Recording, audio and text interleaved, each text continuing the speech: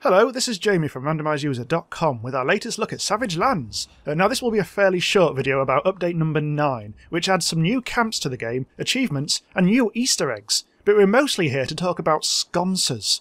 Yes, sconces, the well known word. yeah, so what they are is indoor torches, and they've finally got some interior lighting going on, um, which is this thing right here.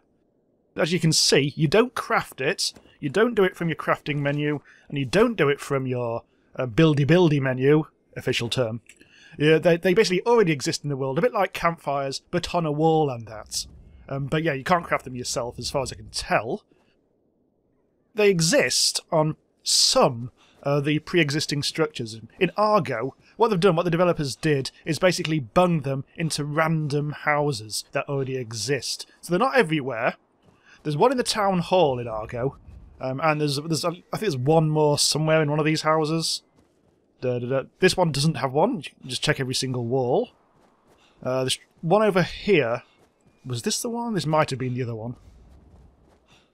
Yeah, here you go. That one's on the back wall. And as you can see, it basically um, demands that you put something into them. Um, in this case, flint, uh, cloth shreds, and coal. Do do do do do do do. Lads! Finally! Look at this! Warm and toasty!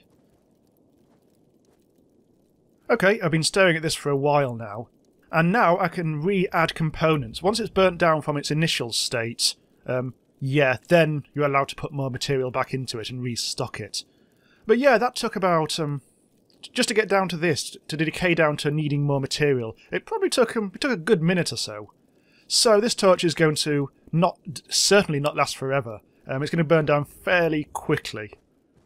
Okay, and um, what I'm going to do now, I'm going to go over to the monolith, um, because that's where I've got some of my pre-built structures, and I can show you what happens when you build your own structure and want to light that up as well.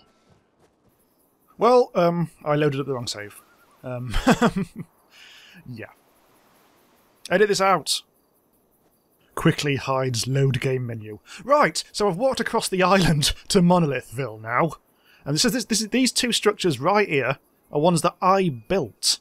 Um, and since the last update, they have actually indeed gained a wall sconce. Or torch, whatever you want to call it. So, just going to quickly... I'm just going to... God damn it, I've run out of cloth shreds. Oh, why... Oh, I think the one thing I don't have in any of these chests is cloth bleeding shreds. Actually, in lieu of any skeletons being around, um, yep, here we go. Uh, cloth shreds. That was nice. And oh, piss off. cloth shreds for the lads. Um, I got from Sundered Cotton. And there we go. So, my already built structure that I built myself um, already has one of the sconces inside. And in fact, I think every time you build a new one, that's what happens. Let's just go over to my weirdly compromised um, thing over here, and as you can see in the total darkness, there's also a wall sconce there, ready to be activated. So even if it's totally dark and you can't see, you'll know where to add all the equipment. Which is nice! I'm just going to run away from this bloody wolf. okay, so I think it might be useful just to actually build a new house, because I want to extend Monolithville for the first time in ages. Today, two buildings. Tomorrow, it's basically going to look like New York City but in savage lands. It's going to be amazing. And I'll show you that once once you've actually built a new building, um, a wall sconce will just be there. You don't have to do any more crafting or weird stuff to actually get um, it all in place. I'm just going to um, light that up. Oh, Jesus, that's... No, that's not all... Oh. No, uh, fuck me, it's just it's spread to all the trees. I was, I was trying to light one tree up so I could actually chop all the other trees down without... Well, so I could actually see. Um, yeah, the whole forest is on fire. Fire! Bloody hell! Okay. Oh god! Oh! Oh no! Oh god, everything's... Oh! The, the trees are tumbling left, right and centre! Oh, that's handy then, I don't actually have to chop them. Excellent! There we go, let's just um, pick all this stuff up. Oh, that's charcoal.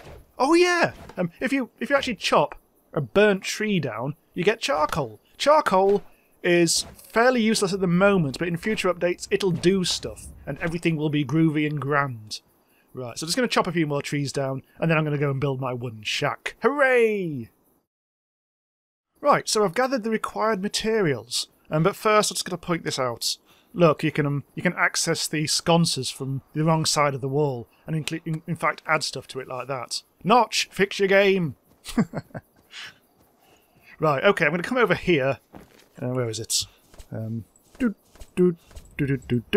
There, wooden shack. Uh, I'm going to put it there. Let's let's make it. Actually, let's make it so the door faces the monolith. There we go. I've got lots of wood. Come on, fill it up. Fill it up. Good bit of building for the lads. Oh, I appear to be freezing to death. Slightly awkward. Well, thank God I built a lovely little house then. Right, get my torch up. Let's go indoors. And hey presto, uh, one wall sconce comes with a house, no extra cost. So just like that. And there we go. A lovely little torch on the wall for you. Delicious sconce. Right, it's probably time to wrap up now. Um, there's a couple of more things in this update which I might as well show you whilst I'm on. whilst I'm going to the effort of doing this. If you look in your um, journal, um, this is always a good place to find interesting new things that they might put in sooner or later. Now, so just let me just go through. Where was it? Um, the bestiary is um, still unlocked, um, as from the previous update. Let's see, anything in here? Yes, here we go. Look at this. In the weapons section, there's these things locked. Um, no idea what they do, but presumably they're teasing us. A blooded head, and decapitated head, and severed head. All of these things are supposed to be weapons, so God only knows what that's what's going on there. The only other thing I'll mention in this update is that um, village spawners, so the ones you know the um, you know how how in in, in villages um, huts tend to spawn things every so often. Well, um, uh, depending on what town you're in now, um, there's going to be um, different um, spawns. So, like when I, I went up to Tillian, uh, which is the the village on the southwest coast, um, and discovered um, in one of the houses it was just giving away free. I think it was um, uh, wolf skin or something like that. Whereas if you go to Argo, you tend to find things like flint and bandages. So yes, I mean the towns are developing their own little personalities, even more so than before, which is nice to see. Okay, so I'll wrap up. Um, thanks for watching. I think I'll go back up on the roof again because I like it on the roof. Um, so thanks for watching. This has been Randomise User. Subscribe to the channel for more updates on Savage Lands and lots more besides. And I'll see you next time, unless I freeze to death first.